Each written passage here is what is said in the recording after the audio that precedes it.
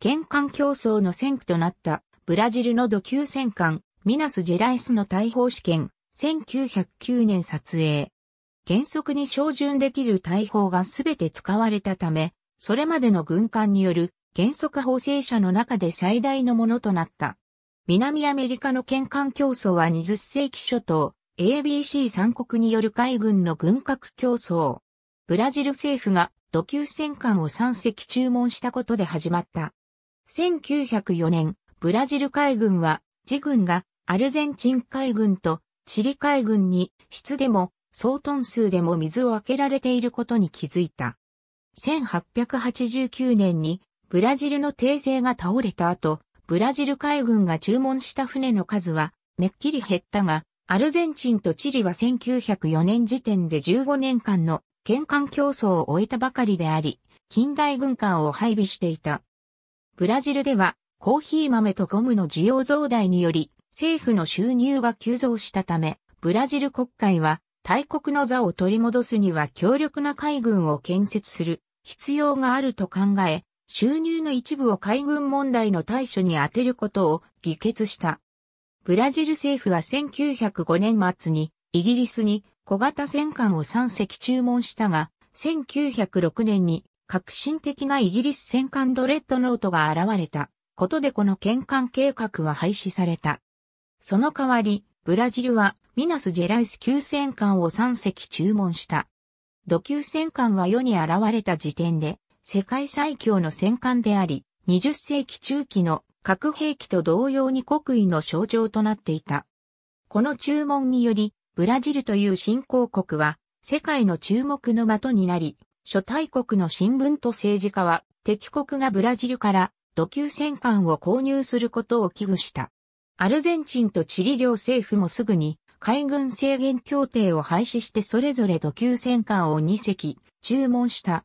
一方、ブラジルの3隻目の土級戦艦は経済衰退と海軍の反乱もあって反対にあった。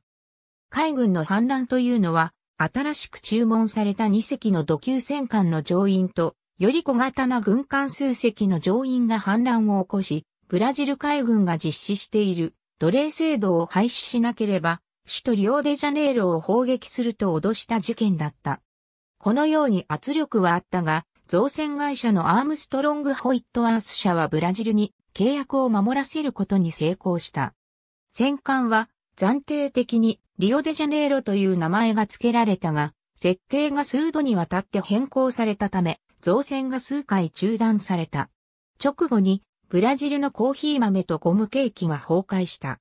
さらに大型な超度級戦艦の登場で、旧式艦化することを恐れたブラジル政府は1913年12月に未完成の戦艦をオスマン帝国に売却した。第一次世界大戦の勃発により、南米諸国が戦艦を購入できなくなったため、県艦競争も自然に収束した。ブラジル政府は1914年5月に戦艦リアシュエロを注文したが、世界大戦により注文は実質的にキャンセルされた。イギリスはチリの戦艦2隻を完成する前に買い上げ、うち1隻は1920年にチリに売り戻した。アルゼンチンの土級戦艦2隻は中立国のアメリカ合衆国で建造されたこともあって、接収の運命を逃れ、1914年から1915年に収益した。戦後も南米で建艦計画が持ち上がることがあり、土級戦艦の建造が主張されたが、実際に建造されることはなかった。アルゼンチンとチリの2国が南米の最南部地域であるパタゴニアの領有権を主張したため、二国は1840年代より緊張状態にあった。1872年と1878年にはアルゼンチン政府より紛争地域で操業する免許を得た商船がチリの軍艦に拿捕されたことで緊張が高まり、1877年にはアルゼンチン軍艦がチリの免許を得たアメリカ商船を拿捕した。さらに1878年11月にアルゼンチンがサンタクルス側に小艦隊を派遣して、チリも同様に艦隊を派遣したことで、両国は開戦寸前になったが、それに慌てた両国は条約を締結して、戦争を回避した。その後の数年はアルゼンチンが先住民族に対する軍事作戦で、チリが対ボリビアとペルーの太平洋戦争で手一杯だったが、両国とも軍艦を数隻注文した。チリは防護巡洋艦のエスメラルダを、アルゼンチンは装甲艦のアルミランテ・ブラウンと防護巡洋艦のパタゴニアを注文した。1887年、チリ政府は海軍の予算を312万9500ポンド増やした。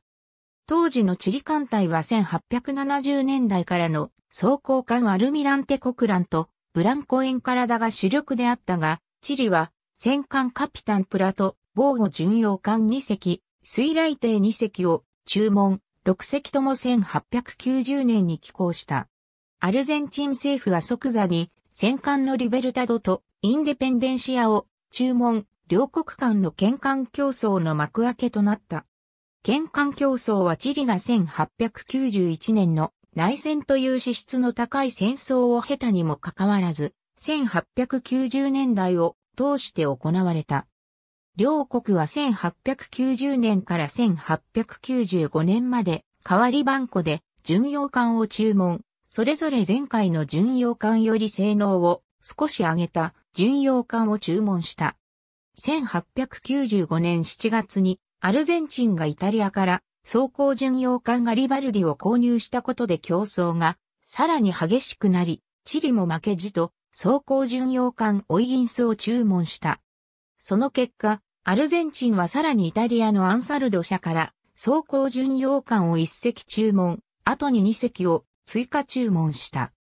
1899年に米国中アルゼンチン特命全権公使、ウィリアム・ペインロードがプナで、あたかま紛争の解決を仲介したため競争が一旦減速したが、両国とも1901年に軍艦を注文した。アルゼンチン海軍はイタリアから装甲巡洋艦2隻を購入、チリ海軍はイギリスにコンスティトゥシオン級前土級戦艦2隻を注文した。アルゼンチンはさらに1901年5月にアンサルドと内事省を調印してより大型な軍艦2隻を購入した。イギリス政府はこのように紛争が拡大することに喜ばなかった。というのも、すぐにでも戦争が勃発しそうな勢いであり、武装紛争は統治におけるイギリスの商業利益に悪影響を及ぼすからである。アルゼンチンもチリもイギリス製品を輸入しており、イギリスは主にラプラタ川を通って輸送されるアルゼンチンの穀物とチリの小産種を輸入していた。そのため、イギリス政府は中チリ大使を通じて交渉を仲介、1902年5月28日の5月協定につながった。5月協定は3つの協定で構成され、うち3つ目の協定は両国の海軍武装を制限。向こう5年内に軍艦を取得する場合は18ヶ月前の事前告知義務を課した。建造中の軍艦は売却され、内チリの戦艦はイギリスのスーイフトシュア級戦艦になり、アルゼンチンの装甲巡洋艦は日本の春日型装甲巡洋艦になった。計画中のアルゼンチン戦艦2隻の注文がすでになされたかは明らかではなかったが、いずれにしても計画はすぐに放棄された。カピタンプラト、ガリバルディ、プエーレドンの3隻は武装解除されたが、主砲台を外せるクレーンがなかったため主砲台は残された。ブラジル皇帝ペドロ2世。1889年のクーデターで失脚した。1889年のクーデターでブラジルの帝政が打倒され、さらに1891年と1893年から1894年の2度の海軍反乱、1893年から1895年までの共和派革命、1896年から1897年までのカヌドス戦争など戦乱が重なったため、ブラジル海軍は顧みられないまま感染が旧式化した。1896年時点のブラジル海軍は許可された兵員数の45%しか有しておらず、海軍の技術が発展する中、ブラジル海軍の近代装甲艦は1898年浸水の解剖戦艦2隻だけだった。このように荒廃した状態の守備について、ブラジル外務大臣のリオ・ブランコ男爵は、このような状況で、あなたは、私がどれだけ心配しているか、私の憂慮がわかるだろう。まだ守っているものはこの地に将来が残っていた時期より、残っている道徳の力と古い栄光であると述べた。一方、アルゼンチンチリ間の協定は、海軍の軍拡を制限したが、県間競争中に建造された艦船は残された。そのため、20世紀が始まる頃には、ブラジル海軍がアルゼンチン海軍とチリ海軍に質でも総トン数でも水を開けられた。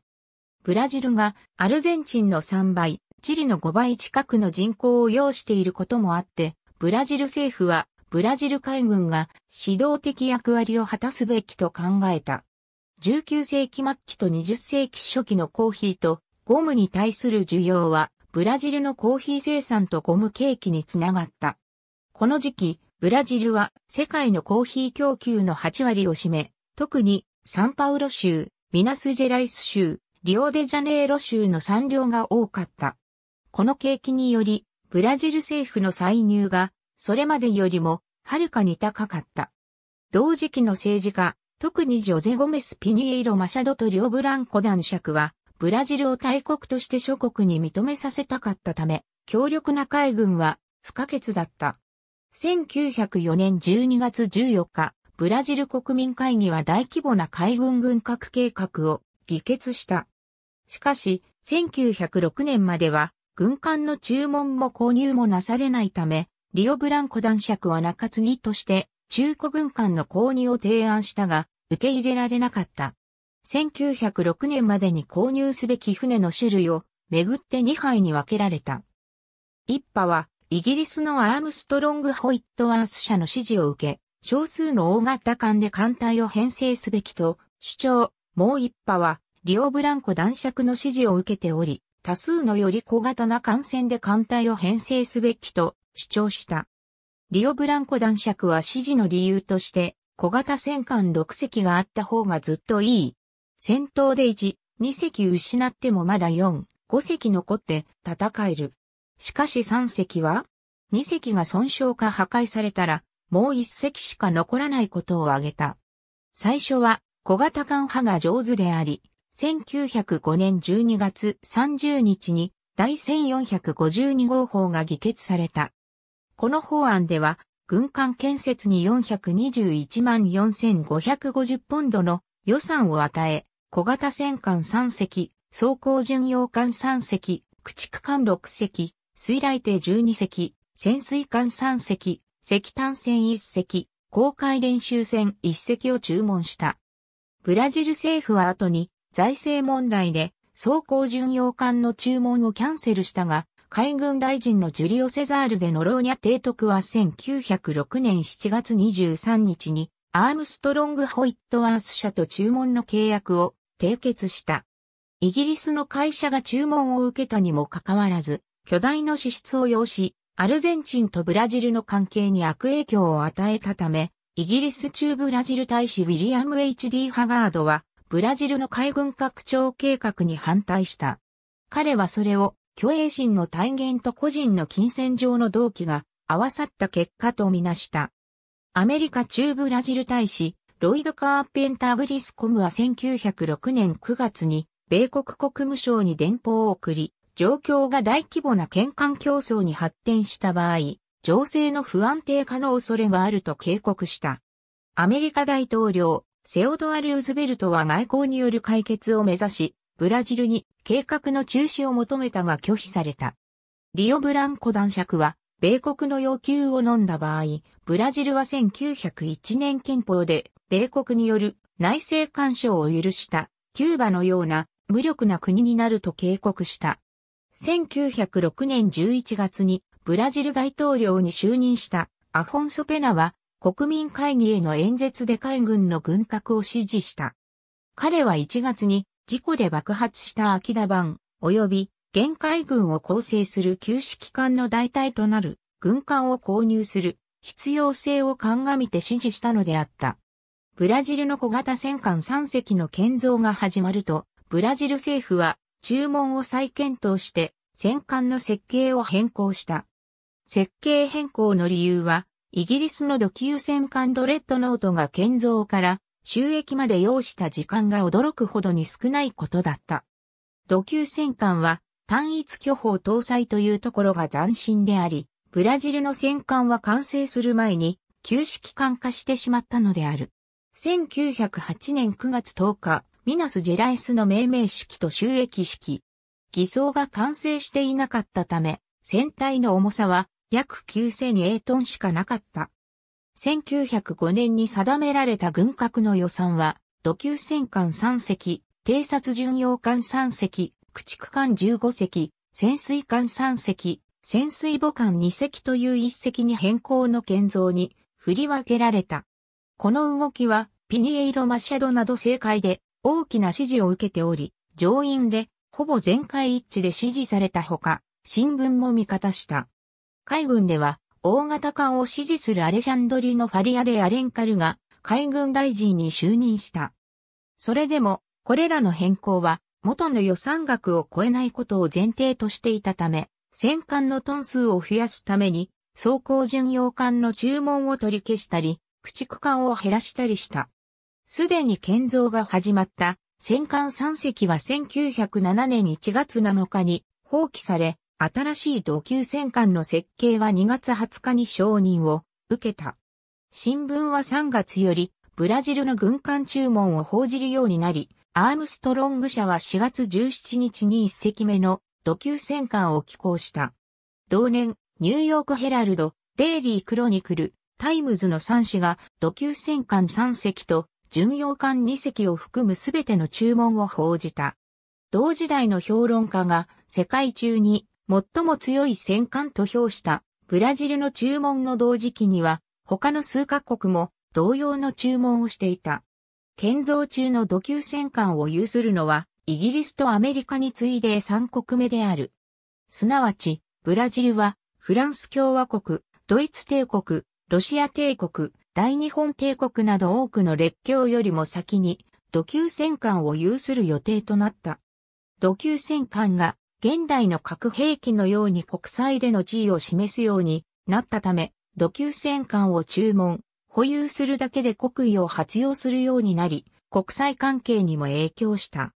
世界中の新聞や雑誌は、ブラジルという取るに足らない小国がこのような大軍を購入するわけがなく、強国の代理として土級戦艦を購入したに間違いないと推測した。多くのアメリカ、イギリス、ドイツの出展は様々な推測を行い、アメリカ、イギリス、ドイツ、ひいては日本政府が裏で線を引いていると疑った。ワールズワークは下記のように記述した。世界中の外交官を悩ましている問題はブラジルがなぜあのような大きさと武装と速度を有し、イギリス以外の国の10から15年先まで進ませる、獰猛なレビアタンが欲しいかである。ブラジルは戦艦がイングランドと日本のためのものであることを否認したが、諸国の海軍は戦艦がブラジル以外の政府のためのものであると疑った。戦争が勃発した場合、即座にこれらの船を確保できる政府は海軍での猶予手中にする。イギリスはどれだけの土級戦艦を有しても、小国の手に落ちないようこれらを購入しなければならないだろう。これらの艦船は国際政治に新しい問題をもたらす。艦船は小国が建設を準備している、または正しく言えば名前を貸している大艦隊の主力になる。この国際政治の新しいゲームには何らかのマキャベリアンの手がかかっている可能性があり、イギリス海軍本部が疑われている。しかし政治家と海軍の学生は各自にそれを推測することができる。一方、大西洋の逆側にあるヨーロッパは、英独権環境争の渦中にあり、イギリス海軍本部が売却など起きないと繰り返して主張したにもかかわらず、庶民員は売却の可能性に悩んでいた。庶民員は1908年7月中と9月にブラジルの戦艦が仮想敵国の手に入らず、イギリス海軍を増強するために戦艦を購入する提案を検討した。これは、ブラジル政府が1908年3月と7月末の2度にわたって売却計画を否定したにもかかわらずである。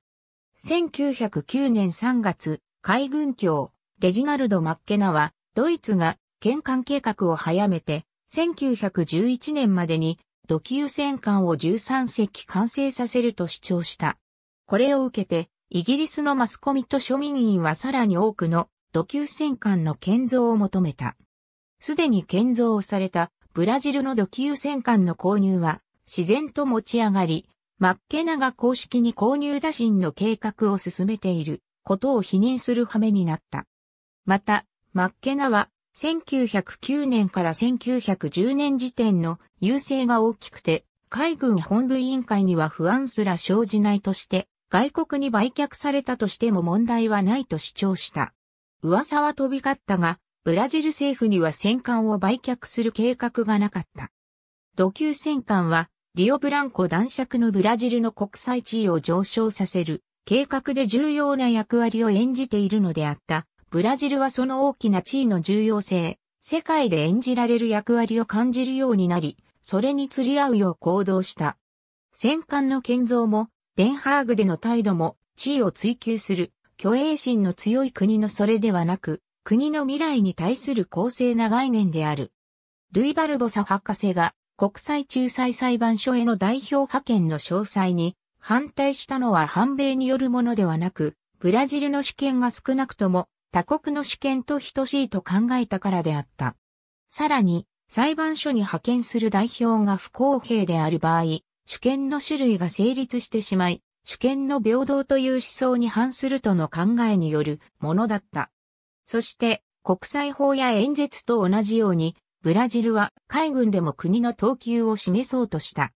アルゼンチンの土級戦艦、リバダビアとモレノはアメリカで建造され、アメリカが外国のために建造した土級戦艦はこの2隻だけだった。画像は建造中のリバダビア。アルゼンチンはブラジルの計画を警戒して1902年の協定でチリと定めた制限を無効化した。1906年11月、アルゼンチン外相マヌエル・アウグスト・モンテス・デオカは、ブラジルの新戦艦のどれをとってもアルゼンチン艦隊とチリ艦隊を全滅させることができると述べた。デオカは、ブラジル政府が注文を土級戦艦に変更する前に、この発言をしたため、発言時点では誇張表現だったが、結果的には真実に近かった。少なくとも1910年時点では、ブラジルの新戦艦が、アルゼンチンやチリ艦隊は愚か、世界中のすべての艦船よりも強かった。アメリカ船舶工学者協会士は旧式のリベルタド級やカピタンプラト級戦艦を維持することが、金銭の浪費であるとまで述べた。デオカの公認エスタニスラオ・セバリオスも引き続き、警戒した。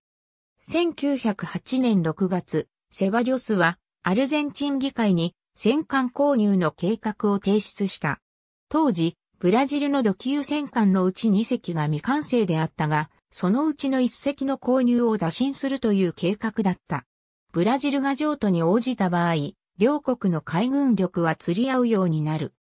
そして、ブラジルが拒否した場合、セバリョスは最後通帳を突きつけて、8日内に応じなかった場合、アルゼンチン軍を動員して、陸軍大臣と海軍大臣が無防備としているリオデジャネイロに攻撃すると計画した。しかし、セバリョスにとって不幸なことに、計画がマスコミに漏れてしまった。アルゼンチン国民は政府が軍を動員して戦争を起こすために大金を借りることを良しとせず、セバリョスは辞任を余儀なくされた。アルゼンチン政府はブラジルの計画がアルゼンチンの輸出貿易に影響する可能性も憂慮した。これはブラジルがラプラタ川を封鎖してアルゼンチンの経済を麻痺させる可能性があるためだった。アルゼンチンのとある提督は、ボストンイブニングトランスクリプト氏に対し、土級戦艦を得て、ブラジルと同程度に増強することで、大衆感情の紛失や誇りの傷つきではが、国体する危険な武器にする相手国の優勢を避けることができると述べた。両国とも土級戦艦の建艦に必要な資金の工面に苦労した。アルゼンチンの与党国家自治党は購入を支持したが、このような高価な買い物は世論に反対された。その後、特にラ・プレンサなどの新聞で、先導的な社説が大量に出回り、さらに、ブラジルがアルゼンチンのリオデラプラタ副王領再建陰謀を主張して国境紛争を起こしたなどの事件もあって世論が逆転して購入を支持するようになった。アルゼンチン大統領、ホセ・フィゲロア・アルコルタは緊張を緩和するためにこのまま軍拡を続けた場合は県間競争が必至であるとブラジルに警告した。ブラジル政府は1906年のペナの演説とほぼ同じように長らく整備されていないブラジル海軍の休止期間を交換するために必要であると主張し、対アルゼンチンは想定していないと繰り返して述べた。8月、アルゼンチン大議員は72票対13秒で、アルゼンチン海軍に土級戦艦3隻の購入を許可した。しかし、その3ヶ月後、アルゼンチン上院が調停条約を許可、政府が最後の試みとしてブラジルの建造中の土級戦艦2隻のうち1隻を購入する提案を出したことで3隻購入案は上院で一旦否決された。ブラジル政府が提案を拒否したため、議案は再び提出され、1908年12月17日に49票対13秒で上院を通過した。一方、社会主義者は反対に回り、アルゼンチンは人口増が必要であり、購入に費やす予算の1400万ポンドにはより、良い使い道があると主張した。アルゼンチン政府が軍備会社に入札を求め、それを検討するために海軍の代表団を派遣すると、5カ国15社から入札を受けた。アルゼンチンの代表団はまずすべての入札を拒否して、各社の設計を取り入れて、新しい入札要件を出して、再び入札を求めるというプロセスを2回繰り返した。一度目の再入札の理由は、世界初の超度級戦艦オライオンが浸水したことだったが、大型戦艦の設計は多くの時間と資金が必要だったため、造船会社たちはアルゼンチンが各社の企業秘密を暴露したとして激怒した。イギリスの造船家の一人がアルゼンチンの行動を痛烈に批判したが、これは落札会社がイギリス以外の会社であることが明らかになった後のことだった。イギリスの戦艦が良いアイディアと実践を具体化していることは仮定しては大丈夫でしょう。最良である可能性も高い。これらのアイディアがイギリスの造船会社が最初にアルゼンチン政府に提出した設計の一部にならない可能性はなかった。二度目の請求では一度目の申し込みで良かったところがすべてアルゼンチン当局に奪われ、新しい設計で求められることは想像できる。この二度目の請求は、イギリスの造船会社だけでなく、世界中の造船会社に出されたため、私たちの船のアイデアと実践が、アルゼンチン政府によって世界に漏らされた可能性が極めて高い。三度目の請求では二度目の請求で消されたか、変更されたものを世界の造船会社に示した。このようにして漏洩が進行し、外国の造船会社とアルゼンチン政府が教育されていった。米国のフォアリバー造船所は安い鋼鉄が使えることもあって一番低い値段で入札して落札したが、採算が取れない低価格で入札してロスリーダーにしていると疑われた。アルゼンチンは他の入札者の不満を和らげるために、英仏独の造船所に駆逐艦12隻を注文したが、ヨーロッパの入札者はそれまでアメリカが競争者のうちに入らないと考えたため、疑心が消えることはなかった。これらの入札者は、イギリスのタイムズ紙などと共に怒りをタフト大統領を率いる米国政府にぶつけた。タフトのドル外交政策により、米国国務省は手を尽くして契約を獲得した。彼らの反応が状況を正しく認識している可能性がある。実際、タフトは1910年の一般教書演説でアメリカの造船所が落札できた理由を国務省の圧旋によるところが大きいとしている。ブルックリン海軍交渉のカンドックで塗装中のモレの1914年10月。アルゼンチン政府との契約では、ブラジル政府が契約通りに3隻目の土級戦艦を注文した場合、アルゼンチン政府に3隻目の土級戦艦を取得する権利が定められている。ラ・プレンサとラ・アルヘンティーナの2種は3隻目の取得を強く支持。ラ・アルヘンティーナは新しい戦艦のための募金を始めたほどであった。アメリカ中アルゼンチン特命全権公使、チャールズ・ヒッチコック・シェリルは本国に電報を送り、新聞の対抗により、市民寄付にしろ政府出資にしろ3隻目の戦艦に向けた運動は早期終結を見たと述べた。1910年12月31日、県艦競争を終わらせるようブラジルに懇願していたロケ・サエンス・ペニャがアルゼンチン大統領に当選すると、アルゼンチン政府は県艦を否決した。さらに、アルゼンチンの3隻目の土級戦艦の仮想敵となっているブラジルの3隻目の土級戦艦はすでに数回キャンセルされていた。1906年バルパライソ地震と1907年の小三次価格暴落により経済衰退に陥ったチリでは県間計画に遅延が生じたが、宿敵のアルゼンチンが土級戦艦を購入したためチリの県間計画は完全には停止しなかった。アルゼンチンは主にブラジルに注目していたが、チリはアルゼンチンの他ペルーの軍拡にも注目した。チリでは1910年に海軍権関計画に予算がついた。チリ政府は数社からの入札を受けたが、予想ではイギリスの会社が落札する可能性が極めて高いとしていた。アメリカの駐在武官は革命でも起きない限り契約はイギリスの手中にあるだろうとの意見を述べた。チリ海軍は1830年代よりイギリス海軍と緊密な関係を保ち、チリの海軍士官はイギリス戦に乗船して訓練を受けつつ、経験を積んだ後に本国に貢献することができた。この関係は1911年にチリがイギリス海軍の派遣団を求め、イギリスもそれに応じたことで継続した。それでも、米独政府はそれぞれ戦艦デラベアと巡洋戦艦フォン、デアタンをチリに派遣して、チリ政府を動かそうとしたが、この努力は失敗に終わり、イギリスのアームストロング社は1911年7月25日に落札した。アルゼンチン、ブラジル、チリ以外の南米諸国は資源も大型軍艦の操縦経験も足りず、競争に加入できる立場になかった。ペルー海軍は南米で4位の規模だったが、1879年から1883年までの対チリ太平洋戦争の開戦で大敗していた。ペルー政府が新しい軍艦を注文するまで20年を要した。例えば、アルミランテグラウ級偵察巡洋艦のアルミランテグラウとコロネル・ボロネーシは、それぞれ1906年と1907年に完成した。他にはフランスから潜水艦2隻と駆逐艦1隻を購入していた。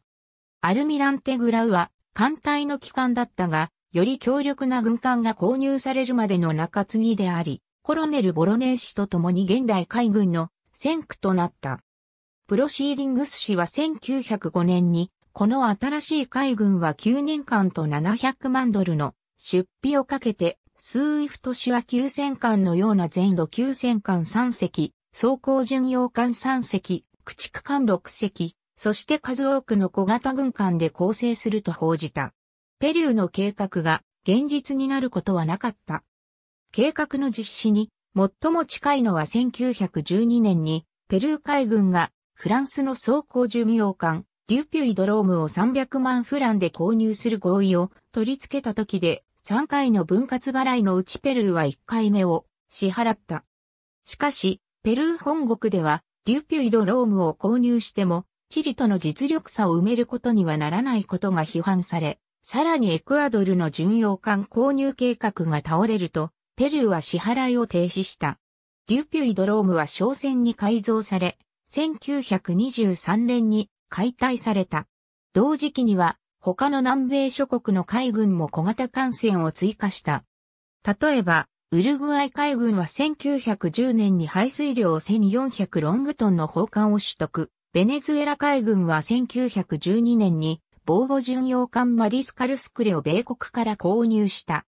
エクアドル海軍は当時排水量約800、ロングトンの通報艦2隻、小型機動船2隻、小型解剖戦艦1隻を有していたが、1907年にチリの水雷艇一隻を取得した。ミナス・ジェライス級戦艦の設計図。上は部品の大きさ、真ん中は主法列の理論上の旋回範囲、下は複法の理論上の旋回範囲を示す。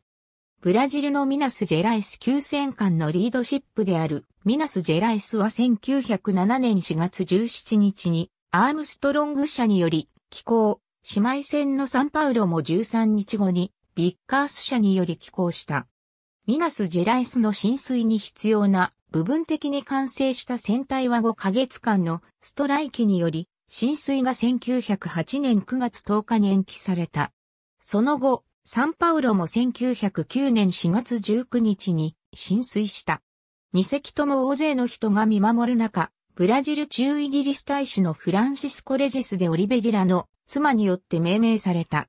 偽装の後、速度、耐久、武器などを試すための海上交尾が、ミナス・ジェライスを検体として9月に複数回行われた。この海上交尾では、史上最大規模の軍艦による原則法制者が行われた。ミナス・ジェライスは、その後、完成して1910年1月5日に、ブラジルに引き渡された。海上交尾は、上部の背負い式砲塔からの砲撃が、下部砲塔の人員に爆笑を負わせないことを証明した。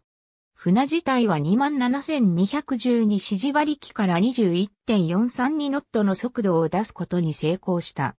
サンパウロも1910年5月末の海上交尾の後、7月にブラジルに引き渡された。サンパウロの海上交尾では28.645、指示馬力から21.623ノットの速度を出した。アルゼンチンの戦艦、リバダビアはフォアリバー造船所のマサチューセッツ造船所で建造された。最終的な契約で定められたように、戦艦モレノの建造はニュージャージー州のニューヨーク造船会社に下請けに出された。建艦に必要な鋼鉄は主にペンシルベニア州のベスレヘムスチール社から供給された。リバダビアはアルゼンチン初の独立政府であるプリメラフンタが設立されてからちょうど100年経った1910年5月25日に寄港、1911年8月26日に浸水した。モレノは1910年7月23日に寄港、1911年9月23日に浸水した。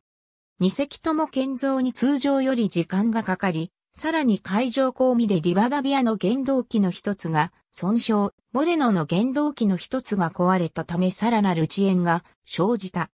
結局、リバダビアは1914年12月に、モレノは1915年2月にようやく正式に完成した。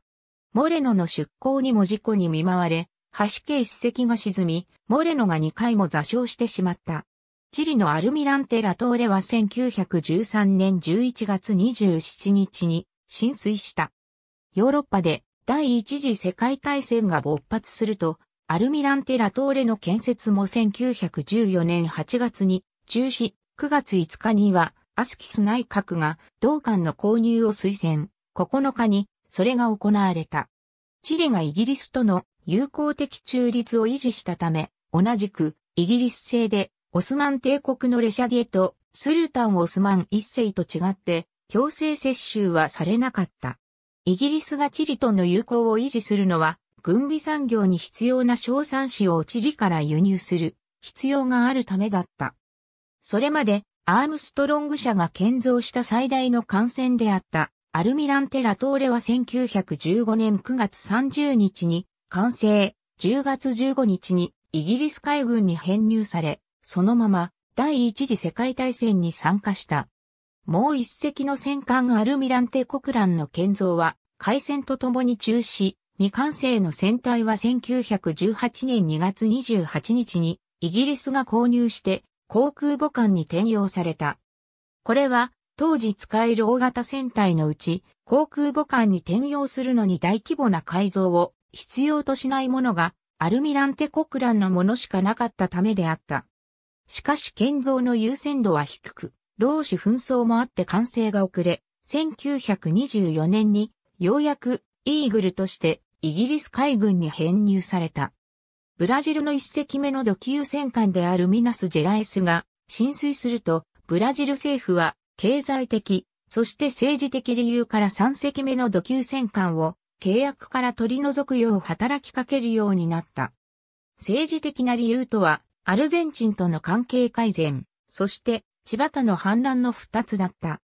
アームストロング社はブラジル政府に契約を守らせようとしており、債権の利子率が下がったことで、ブラジル政府が資金を借りやすくなったこともあって、ブラジルは要求を取り下げた。リオデジャネイロは1910年3月に初めて寄港した。5月、ブラジル政府はアームストロング社にリオデジャネイロの建造を止め、最新型の超度級戦艦の技術を取り入れた新設計を提出することを要求した。ユースタステニスンダインコートがアームストロング社の中ブラジル代表を務めた。1911年のブリタニカ百科辞典第11版では、新設計を全長655フィート、重量3万2000ロングトンで14インチ砲を12門、積載して合計300万ポンド近くかかるものとした。ブラジル海軍が多くの細かい変更を要求したことにより、契約の締結が1910年10月10日までずれ込み、さらに造船港の名誉組合との労使紛争により一時ロックアウトに発展し、寄港が遅れた。その間に、ブラジル海軍大臣が、ジョアキン・マルケス・バティスタ・デレオン提督に変わったが、これは、玄関計画に大きな影響を及ぼした。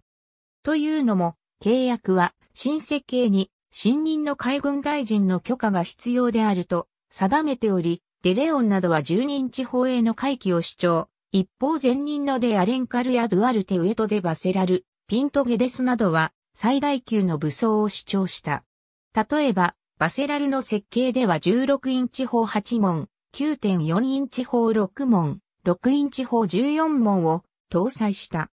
契約が締結された直後の1910年10月にブラジルを立ったダインコートは1911年3月に戻り、ブラジル海軍に設計案を示した。アームストロング社がデアレンカルやバセラルの主張が通ると考えたため、ダインコートはバセラルの設計に基づく契約に必要なものをすべて持っていった。3月中旬、アームストロング社はレオンが直近に当選した大統領エルメス・ロドリゲス・ダ・ホンセカを説得して14インチ砲12門を採用した設計を破棄してより小型な設計を採用させたとの知らせをブラジルから受けた。しかし、レオンの説得のみが原因ではなかった。1910年11月、ブラジル海軍は新しく購入した軍艦3隻とより古い解剖戦艦1隻で反乱を起こして海軍における体罰への反対を訴え、ダフォンセカはすでにこの反乱に手を焼いていた。さらに、経済が悪化している上に、土級戦艦の支出と借款の支払いにより、政府の財政赤字も交際も増えた。ブラジルの一人当たり国内総生産は1905年の718ドルから1911年の836ドルに増えた後、1914年の780ドルまで減らした。ブラジルの国内総生産が完全に回復したのは第一次世界大戦戦後のことだった。一方、ブラジルの外債が5億ドルに、内債が3.35億ドルに増えた。これは政府の財政赤字が1908年の2200万ドルから1912年の4700万ドルに増えたことが一因となっている。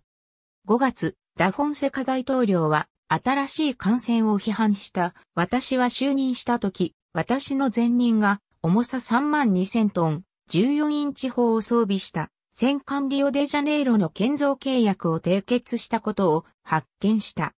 どのような検討でも、このような感染の獲得が迷惑であることと、トン数を減らすという形で契約を改定すべきことを指していた。契約の改定は行われ、私たちは経験則に従わない誇張された言葉に基づかない強力な感染を保有するだろうう。ダインコートはおそらく政治情勢を鑑みて16インチ砲を含む設計を提示しなかった。レオンとの会議において原則法がミナス・ジェライス級のそれと同じだったが中央に12インチ砲10門しかない。設計はすぐに却下され、一方中央に少なくとも12インチ砲14門を有する設計は受け入れられた。デイビッド・トップリスによると、これは政治上そうしなければならなかった。彼は海軍大臣がミナス・ジェラエス級よりも弱い同級戦艦の購入を正当化できないと考え、より大型な大砲が選ばれないのであれば、より多数な大砲しかないと結論付けたのであった。偽装中のスルタン・オスマン一世。元はリオデジャネイロという名前であり、後にエジンコートになる。ブラジル海軍の多くの設計変更要求が受け入れたか拒否された後、12インチ砲14門を有する艦船を267万5千ポンドで購入する契約が1911年6月3日に締結された。そして、リオデジャネイロは9月14日に4度目となる寄港を行った。しかし、ブラジル政府が決定を再考するまでに時間がかからず、1912年中には14インチ砲を有する戦艦が建造されるようになり、リオデジャネイロは完成時点で旧式艦になってしまう可能性が出てきた。さらに、1913年8月に第二次バルカン戦争が終結してヨーロッパが不況に陥るとブラジルは外国からの借款を得にくくなった。同時期にはイギリスがアジアでゴムのプランテーションを建設してブラジルのゴム独占を崩しコーヒー豆の価格も2割下がりブラジルのゴムとコーヒー豆輸出が同時に崩壊した。ブラジルのコーヒー豆輸出は1912年と1913年の間に12.5%下落、ゴムも25%と36.6%下落した。ブラジル海軍は後にリオデジャネイロの売却を正当化するために2種類の戦艦を保有すると主張した。すなわち12インチ砲を有するミナスジェライス級戦艦2隻と15インチ砲を有する戦艦2隻である。アームストロング社は12インチ砲を15インチ砲7門に置き換える可能性を調べたが、ブラジルはおそらくすでに売却を試みていた。第一次世界大戦直前の緊張した情勢では、ロシア、イタリア、ギリシャ、オスマン帝国など多くの国が購入に前向きであり、ロシアはすぐに脱落したがイタリアとそのライバルである、ギリシャとオスマン帝国は興味を持った。一時はイタリアが購入するとも思われたが、フランスは仮想敵国のイタリアに購入されるくらいならと、ギリシャによる購入を指示した。ギリシャ政府は元の価格に5万ポンドを上乗せした価格を提示したが、ギリシャが頭金を集めている最中、オスマン帝国も提案をした。オスマン帝国は、ブラジルのリオデジャネイロを獲得する代償として、戦艦、レシャディエに金銭を追加して交換することを提案したが、ブラジル政府は購入のみ受け付けるとして、オスマン帝国の提案を拒否した。オスマン帝国は資金が不足しており、借款を余儀なくされた。オスマン帝国にとって幸いなことに、政府から独立して行動するというフランスの銀行家から借款を確保することができた。これにより、オスマン海軍は1913年12月29日に120万ポンドでリオデジャネイロを購入した。購入契約では残りの工程にオスマン帝国からの234万ポンドを充てるとした。リオデジャネイロはスルタン・オスマン一世に改名されたが、第一次世界大戦が開戦するとイギリスに接収され、エジンコートとしてイギリス海軍に編入された。アルゼンチン政府は1912年10月にリオデジャネイロが完成してブラジルに引き渡されることを条件に3隻目の土級戦艦の購入を許可したが、リオデジャネイロは結局完成しなかった。ブラジル政府はリオデジャネイロを売却した後、アームストロング社とビッカース社に新しい戦艦の設計を準備するよう求めた。このことはブラジルの海軍連盟に強く支持された。アームストロング社はブラジルからのさらなる支払いなく、返還することに同意した。ビッカースは1913年12月から1914年3月にかけて設計案を6件提出、アームストロング社も1914年2月に発見、提出した。ビッカース社の設計では15インチ砲が8から10門、16インチ砲が8門で、排水量は2万6000から3万500トンであり、速度は22から25ノットである。アームストロング社は15インチ砲8門と10門という2つの基本設計に速度と燃料を変更して発見の設計を作った。多くの二次出展はブラジルが戦艦を注文したことに言及せず、コンウェイ、S. All the World's Fighting Ships という軍艦の百科時点では、ブラジルは4つの設計から選ばなかったとまで言及した。ブラジル政府はデザイン781と名付けられた設計を選んだ。この設計は当時イギリスが建造していたクイーンエリザベス級戦艦とリベンジ級戦艦にも見られる特徴を有していた。1914年5月12日、ブラジルはこの設計を採用する軍艦一隻を注文、アームストロング社のエルスウィック造船所で建造するとした。予定の寄港日は9月10日で、原材料も一部準備されたが、1914年8月に第一次世界大戦が勃発したことで計画が遅れた。結局、リアシュエロの建設は1915年1月14日に正式に中止、5月13日には完全に取り消された。ミナス・ジェライスに乗船していたパルドとプレトの会員。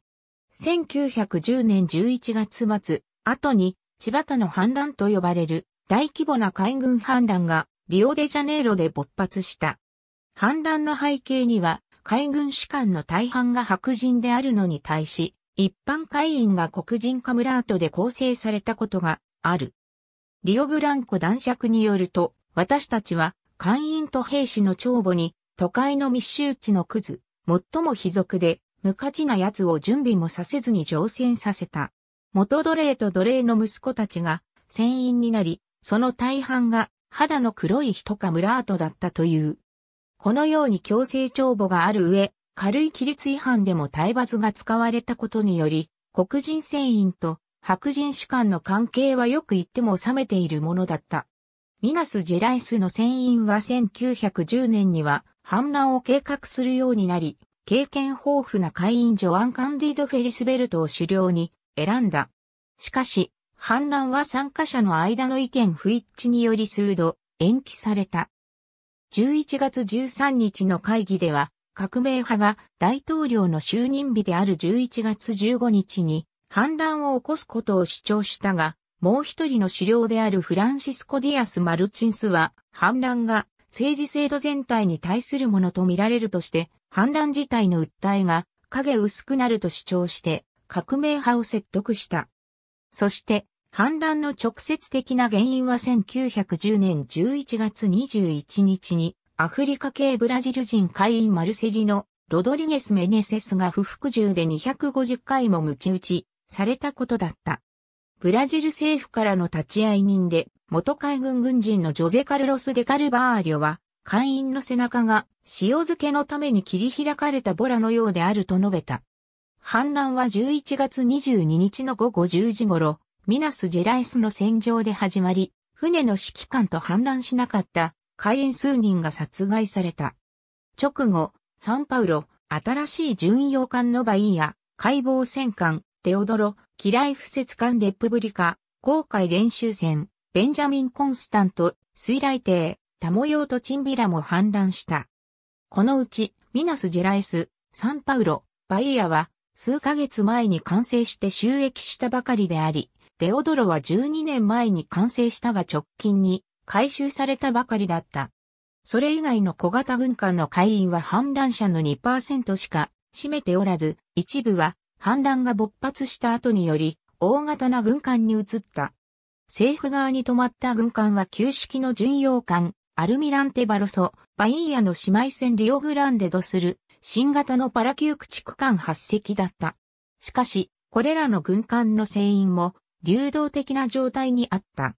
当時リオデジャネイロにいた海軍軍人の半分近くが反乱している状態では、政府側に止まった軍人も疑わしく見えたのであった。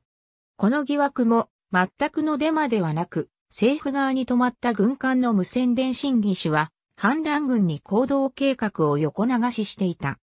疑惑がつきまとった結果、政府側に止まった軍艦では徴収された会員の人数が最低限に減らされ、直接戦闘に参加する位置はすべて士官で埋められた。さらに、駆逐艦の魚雷など、補給の問題もある。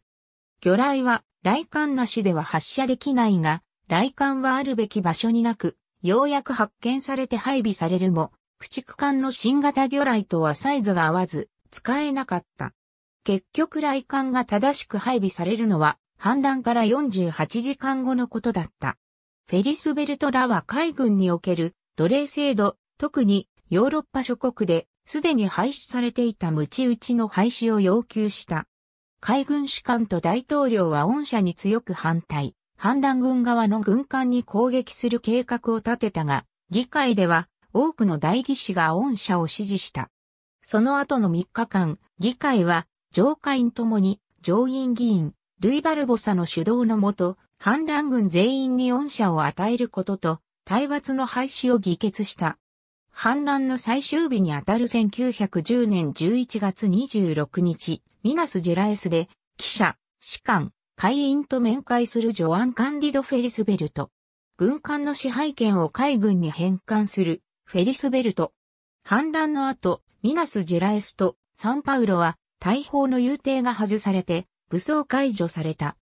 その後、さらなる反乱を恐れて海軍がほぼ操業できない状態に陥ったため、大統領、バルボサ、リオブランコ男爵など多くの政治家、ジョルナルド・コンメルシオ氏の編集長などは、新しい艦船の運用を疑問視して、外国への売却を支持するようになった。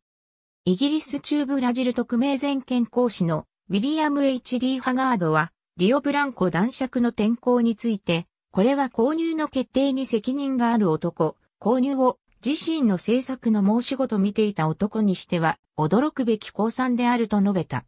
恩赦法案の議決直前、ルイ・バルボサは、軍艦購入の反対論を演説した戦備から見るミナス・ジェライス。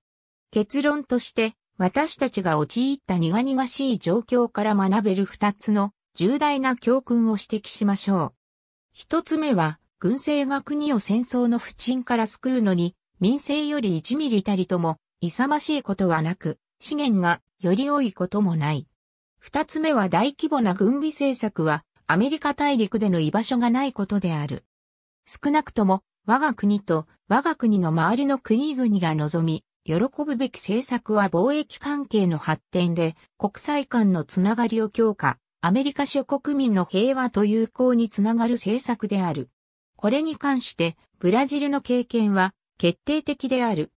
これまでの20年間、我が国の国防を強化するのに費やした力は、結局、度重なる反乱の試みで我が身に跳ね返った。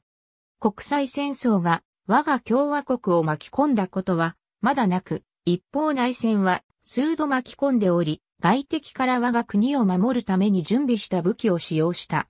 これらの危険で馬鹿げた武器を捨てて、我が隣人との公平な関係で国際平和を守りましょう。少なくともアメリカ大陸においては平和艦隊を維持する必要はありません。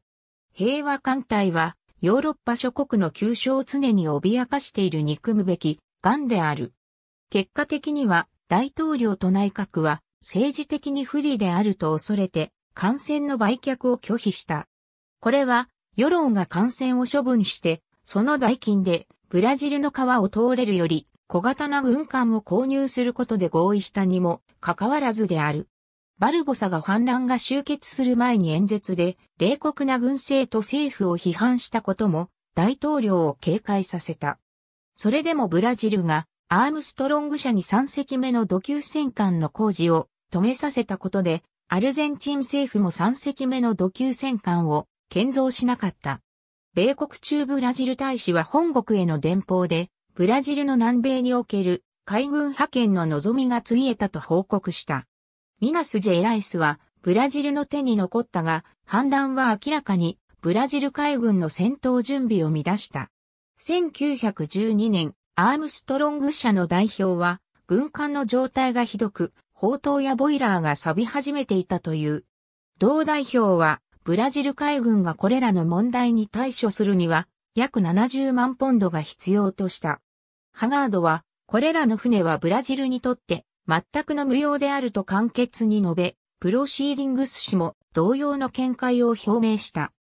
政府はこの時はミナス・ジェライス級戦艦2隻の売却を拒否、リオデジャネイロの購入を指示したが、後にリオデジャネイロをオスマン帝国に売却した。一部の歴史家は売却の理由を、千葉田の反乱と1912年のリオブランコ、男爵の死に返した。リオデジャネイロがオスマン帝国に売却された後、アルゼンチン政府は世論に屈して、土級戦艦2隻の売却先を探し始めた。売却で得た資金は内政に回す予定だった。戦艦の売却議案は1914年中にアルゼンチン議会に提出されたが、その議決では敗北した。英独政府ともにアルゼンチン戦艦が敵国に売却されたことを恐れ、購入に興味を持った国はローウイに加えて、オスマン帝国とギリシャ王国の5カ国だった。うち、ギリシャが興味を示したのは、オスマン帝国のリオデジャネイロ購入への危機感によるものだった。チリのアルミランテ・ラトーレ、1921年12月、撮影。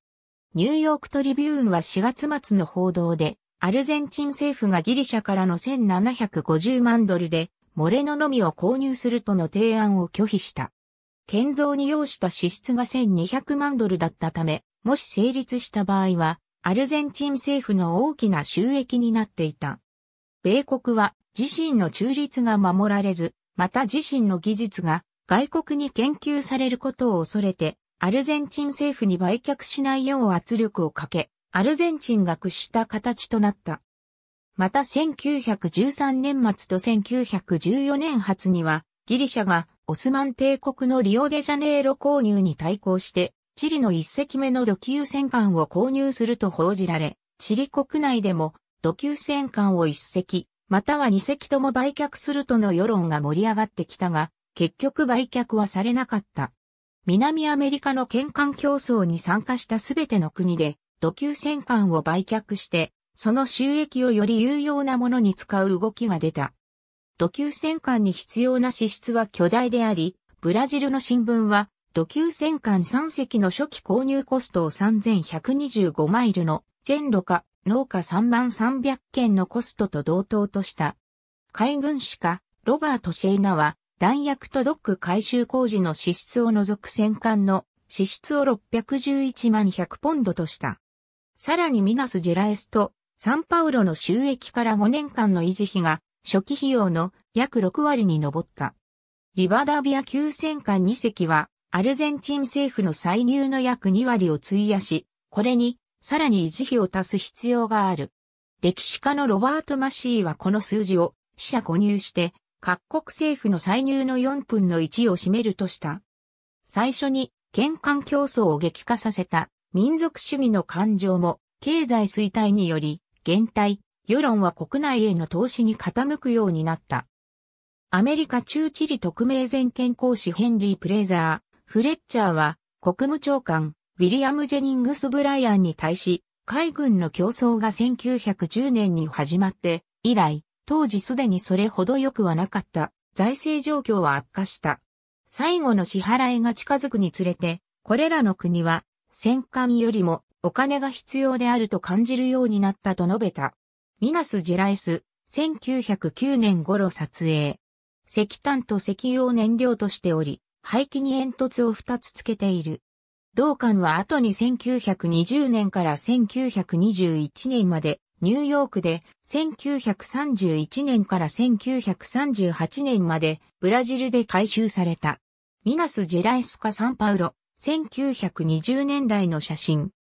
第一次世界大戦後に一度改修されており、船橋は船内に収められ、司令塔は再建され、射撃管制用のレンジクロックが三脚マストに付けられた。この写真では、主砲台が甲板上の天幕に覆われている。ミナス・ジェラエス、第二次世界大戦中の写真。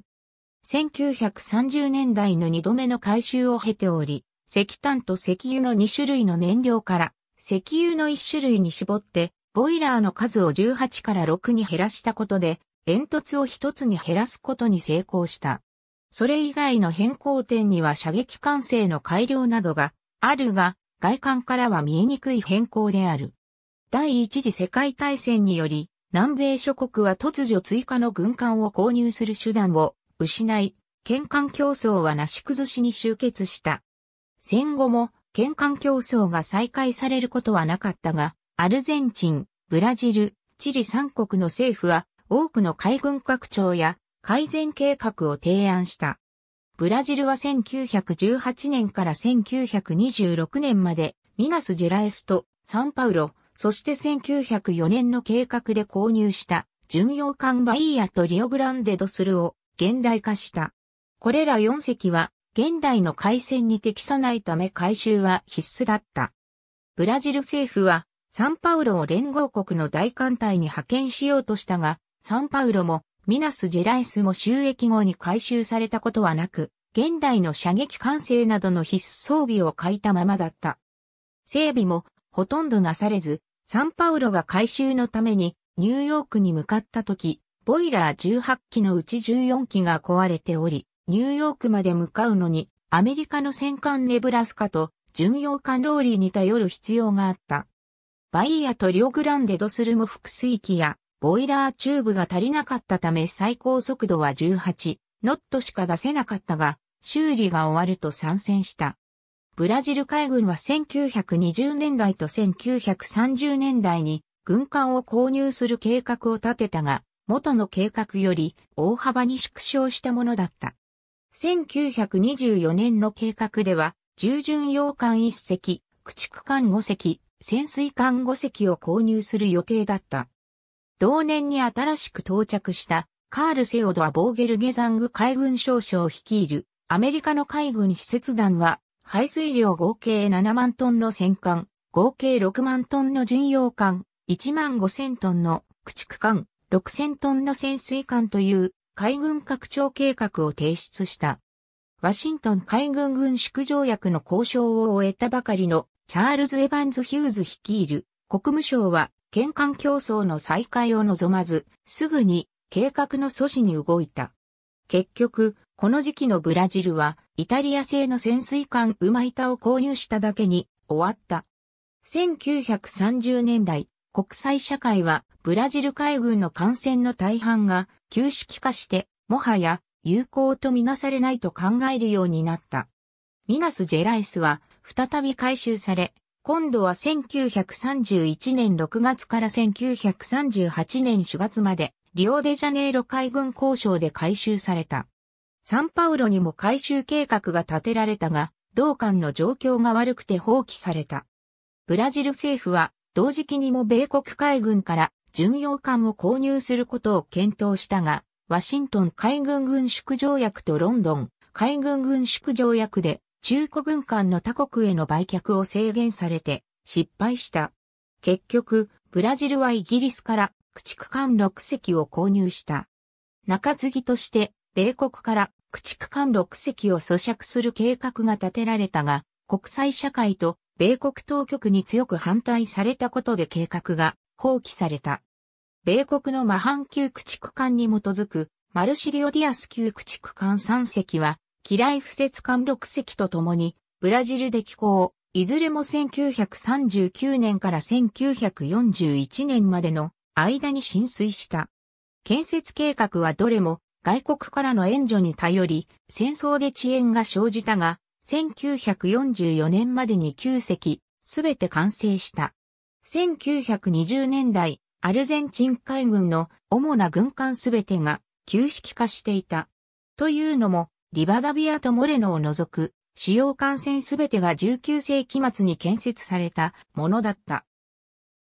アルゼンチン政府はこの状況を認識して南米における海軍の優位を維持すべく1924年と1926年にリバダビアとモレノをそれぞれ米国に送って回収させた。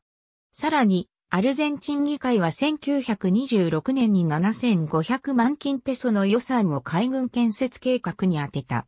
これによりアルゼンチンは巡洋艦3隻、駆逐艦12隻、潜水艦3隻を購入した。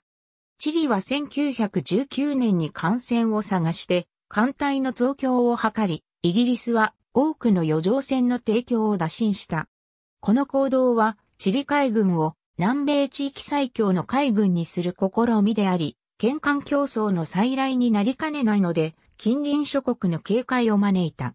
チリは戦前に注文した戦艦アルミランテラトーレとアルミランテコクランを求めたが、イーグルを空母から戦艦に戻すコストが高すぎた。その代わりとして、インビンシブル級巡洋戦艦2隻の購入が計画されたが、購入の秘密交渉がマスコミに漏れ、これら2隻の価値をめぐって、チリ国内の世論が激高した。結局、チリは1920年4月にカナダと駆逐艦4隻という、1914年以前に注文したが第一次世界大戦勃発後に、イギリスに購入された艦船を安値で買い戻したに過ぎなかった。例えば、カナダの値段はわずか100万ポンドと、建造コストの半分以下だった。その後の数年間、チリは引き続き、イギリスから軍艦を購入した。例えば、駆逐艦6隻と潜水艦3隻を購入している。アルミランテラトーレは1929年から1931年までイギリスのデボンポート海軍基地で改修された。しかし、経済衰退と1931年、チリ海軍反乱により、アルミランテラトーレは実質的に操業停止した。1930年代末、チリ政府はイギリス、イタリア、ドイツ、スウェーデンに排水量8600ロングトンの巡洋艦の建設を打診したが、注文にはつながらなかった。さらに小型巡洋艦2隻の購入が計画されたが、第二次世界大戦開戦でそれもなくなった。真珠湾攻撃直後、米国はアルミランテラトーレ、駆逐艦2隻、潜水母艦1隻の購入を打診した。これは、チリ海軍が艦船を最高の状態に保っていると評判だったためとされるが、チリは売却を拒否した。第二次世界大戦中も第一次世界大戦中と同じく軍艦購入がほぼ不可能な状態だった。それが可能になったのは、戦後に英米が余剰軍艦を処分しようとした時だった。第二次世界大戦では、戦艦が時代遅れであることが証明されたため、南米諸国の海軍は、巡洋艦、駆逐艦、潜水艦を求めたが、フラー級コルベットやリバー級フリゲート以上の大型艦の購入は政治的に難しく、状況が変わったのは赤狩りがアメリカと国際政治に強く影響するようになってからだった。そして、1949年の相互防衛援助法に基づき、米国は1951年1月に、軽巡洋艦6隻をアルゼンチン、ブラジル、チリに売却した。これは、米国の南米における同盟国の海軍を増強したが、海軍士やのロバート・シェイナは、米国政府がこれを機に、アルゼンチン、ブラジル、チリ間の海軍競争を介入した。米国の軽巡売却は三国の海軍の強さを同等にし、三国にそれを受け入れさせたのであった。南米の土級戦艦は戦後も引き続き収益した。米国海軍のオールハンズ氏は1948年の報道でサンパウロとアルミランテラトーレを除く全艦船が収益中でアルミランテラトーレは修理中で、サンパウロは廃艦となったと報じた。現代の巡洋艦、フリゲート、コルベットが導入されたことで、戦艦の多くが解体、売却された。ブラジル海軍は当時収益中の土級戦艦のうち、世界最古のものを有しており、1951年に解体のためにサンパウロを売却したが、牽引中にアゾレス諸島の北で嵐にあって沈没した。ミナス・ジェライスも2年後売却され、1954年発にジェノバで解体された。アルゼンチンの土級戦艦のうち、モレノは1957年に解体のために日本まで牽引され、リバダビアも1959年発にイタリアで解体された。アルミランテラトーレは1951年にエンジン室が爆発した後、修理もなされずに放置されたが、1958年10月に廃艦となり、1959年にモレノと共に日本に向かった。戦艦に代わる海軍の主力として、アルゼンチンとブラジルはイギリス製のコロッサス級航空母艦を購入した。それまでアルゼンチン、ブラジル、チリに海軍力で後人を排していたペルーは1950年代以降、イギリスのセイロン級系巡洋艦2隻やオランダのデロイテル級巡洋艦2隻を購入するなどの大規模な海軍拡張を続けて行い、戦艦を退役させて空母や軽巡洋艦が海軍の主力となっていたアルゼンチン、ブラジル、チリと同等の海軍を整備した。ミナス・ジェライス級戦艦は南米の他の土級戦艦よりも早く設計、建設、完成したため、より小さく、武装もより貧弱であった。ブラジルはさらに、リオデジャネイロとリアシュエロの取得を計画したが、前者は売却され、後者は第一次世界大戦勃発により取り消された。リバダビア級戦艦は南米諸国が購入した2級目の土級戦艦であり、イギリス以外の会社が建設したものとしては唯一である。ミナス・ジェライス級の建設を受けて注文されたため、リバダビア級戦艦ははるかに大きく、12インチ砲も2門、多く、装甲もより強かった。アルミランテラトーレは最後に建設された南米の土級戦艦であり、ブラジルとアルゼンチンのそれよりも大きく、よく武装されていた。14インチ砲5門が車線ではなく、より効果的になるように、中央軸に配置されているため、片弦製車でも船に損傷を与えないようにした。艦首から見たミナス・ジェライス。砲塔は上部構造の両側にある。ありがとうございます。